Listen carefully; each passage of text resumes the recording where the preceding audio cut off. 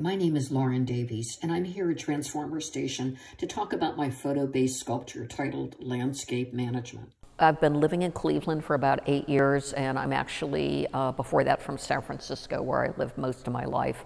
Uh, I went to the San Francisco Art Institute quite a long time ago and have uh, an MFA in sculpture.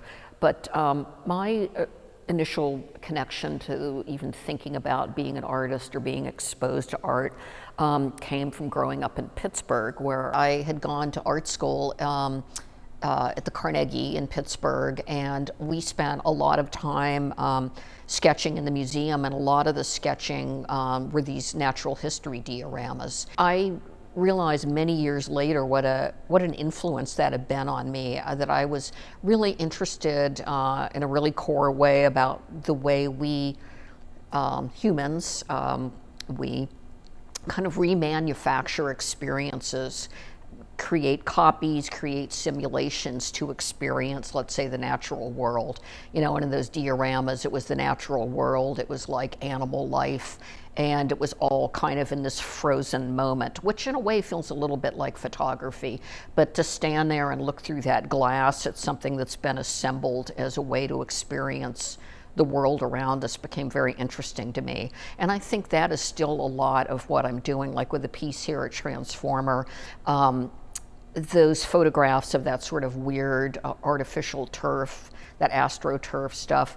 I was at a residency in New Mexico uh, at the Santa Fe Art Institute and really got interested when I was there in getting out of the studio and kind of like out into the world and walking around and you know I was in such a different environment. Uh, so I I got a better camera. I ordered a camera when I was there and I started shooting these photographs of these very odd situations that had happened sort of in the in the environment um, in the landscape which is a very like stark landscape there very um, you know, and the light, as everybody says, in New Mexico is amazing, and it really is amazing.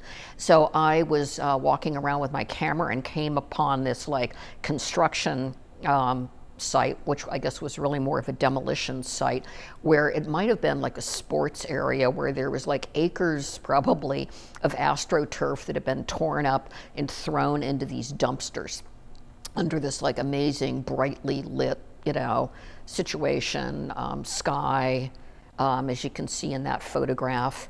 And it just, the irony of that was so amazing to me that they were hauling it off to landfill. So this like fake, what had been a fake landscape was being dragged out to the desert probably and dumped somewhere.